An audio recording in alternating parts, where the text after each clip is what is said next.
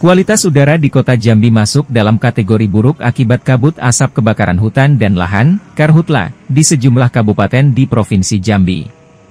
Berdasarkan data Dinas Lingkungan Hidup Provinsi Jambi Indeks Standar Pencemaran Udara, ISPU, di wilayah kota Jambi, pada Senin 4 September 2023. Berada pada nilai 104 kategori buruk dalam parameter PM2,5 yang menunjukkan pencemaran udara dari material dari hasil pembakaran, industri dan kendaraan bermotor. Kepala Dinas Lingkungan Hidup Provinsi Jambi, Varial Adiputra mengatakan memburuknya kualitas udara di kota Jambi disebabkan oleh beberapa faktor. Karhutlah, limbah dari perusahaan dan pabrik, serta emisi kendaraan bermotor, jadi penyebab buruknya kualitas udara di kota Jambi. Namun, Varial menyebut asap yang ditimbulkan dari karhutla memperburuk kualitas udara di kota Jambi. Eh, setelah kita pantau, eh, mulai dari beberapa hari, terjadi peningkatan ya di untuk kualitas udara yang ada di Provinsi Jambi. Khususnya eh, alat yang kita pasang, alat yang dipasang di kota Jambi ini menunjuk indikatornya sudah sudah tidak sehat tadi malam indikatornya menunjukkan di angka 93 ya. Hmm. Kemudian pagi tadi jam 9 tadi itu di angka 99.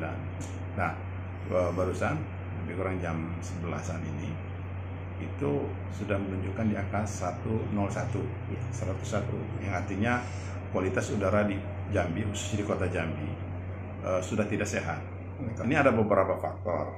Yang pertama uh, kalau kita lihat untuk di Provinsi Jambi ini mungkin dari kebakaran hutan mungkin ya.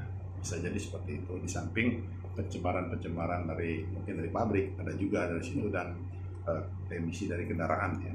Karena itu ini artinya uh, pencemaran udara ini mungkin dari bawah oleh angin ya uh, menuju ke kota Jambi ini. Jadi kualitas udara di kota ini sudah tidak sehat lagi. Ya ke, saya baru dapat informasi dari dinas kehutanan bahwa kita kemarin ada terbakar ya di gambut iya. di Kumpe katanya, tapi sudah padam. Nah, apakah yang sudah dipadamkan itu asapnya masih berputar-putar juga di wilayah Provinsi Jambi ataukah sudah uh, menyebar atau terserap ke dengan yang lain? Nah, ini bisa jadi itu juga terdampak seperti itu gitu. Di samping memang saya dapat informasi juga bahwa di wilayah Sumatera bagian selatan itu itu terbakar juga bisa jadi angin yang berembus itu mengarah ke kota Jambi seperti itu.